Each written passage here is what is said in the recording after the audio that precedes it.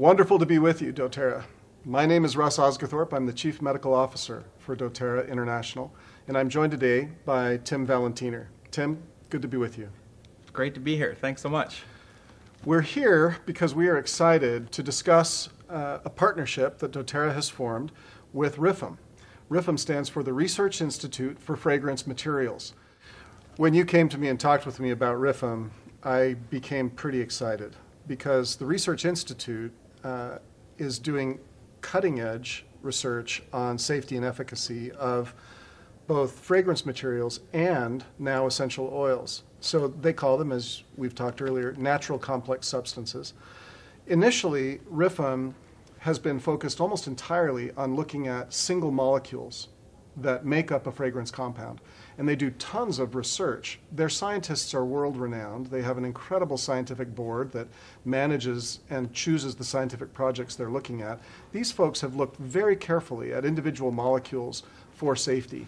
I think one other thing too that's been exciting and interesting about this is that historically RIFM has been comprised of, um, you know, academics, scientists um, that are on the board, but also there's a scientific advisory board for RIFM.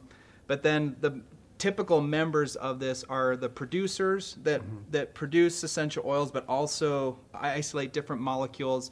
Large fra- flavor and fragrance houses that are developing you know, very sophisticated synthetic molecules. But then also on the consumer end, large companies like L'Oreal, like Estee Lauder, Unilever, like Unilever, yeah. Procter and Gamble. Um, these industry, these large industry companies that are some of the primary users of fragrance materials for all of their different products, um, is the typical member um, of RIFM. But where we're different and where this actually required board uh, approval on an exceptional basis, but we were very proud that it was actually uh, approved unanimously to have doTERRA join as a, a, member organization of RIFM as the only, the first and the only aromatherapy company that has been invited to participate in this. And it is because of our commitment, our pursuit of purity, of pure and natural complex essential oils by themselves and using these in different applications as complex substances.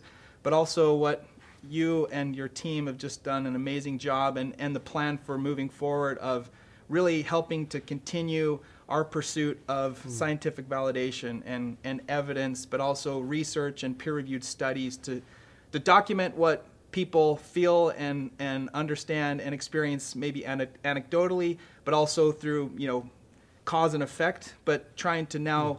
really put some robust scientific research behind this and help doTERRA take essential oil understanding, safety, and efficacy to the next level. And this is what RIFM was so excited about, what we could bring to the table, and what we in turn obviously are extremely excited to be able to partner with them. One of the things I'm also excited about is the scientists at RIFM will be collaborating with scientists at doTERRA to further our understanding of natural complex substances, i.e., essential oils.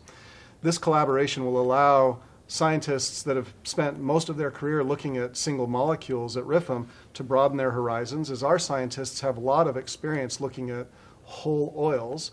And it, as well, for me, will allow our scientists to broaden their horizons, looking very carefully at how these individual molecules affect us. And the science, scientific methods used to study these essential oils will become now part of our repertoire, which will be very important to doTERRA moving forward.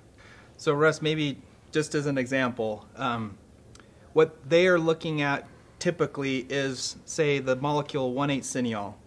In isolation, they're doing safety research on that individual molecule, either naturally derived or synthetically derived. And then they base all of their research and studies and safety and understandings on that ice, that molecule isolated by itself. But then you have to take that and trying to extrapolate, you know, all of the essential oils, natural complex substances, like say eucalyptus, for example, that contains a high level of 1,8-cineol, mm-hmm. um, trying to say everything that happens to 1,8-cineol in isolation, therefore must happen to all the oils that contain 1,8-cineol, and there, that of course is a it, it's too it's too broad of uh, an extrapolation. And they know that, and we know that, and there's just been this vacuum of scientific data around substances like essential oils, which are natural substances which are very complex in their chemistry. in that they have many compounds that are found within them that act together in the body to affect all sorts of systems. And this And is something that we, doTERRA has been built upon this foundation, right? That that essential oils as complex substances, natural complex substances, are amazing, and their properties are incredible, um, and and surpass even these individual molecules in isolation. But trying to scientifically validate, document this through peer-reviewed studies and research takes a lot of time, a, significant amount of resources and efforts. But everyone is invested and interested into understanding this better. Yeah, science is about collaboration. And in all honesty, the most exciting part of this partnership is our ability to further our understanding of essential oil efficacy and safety through partnership and collaboration with RIFM. It will be a wonderful partnership over the years that we look forward to fostering. Um, thanks, Tim, for discussing this with me. We look forward to seeing where this goes in the future.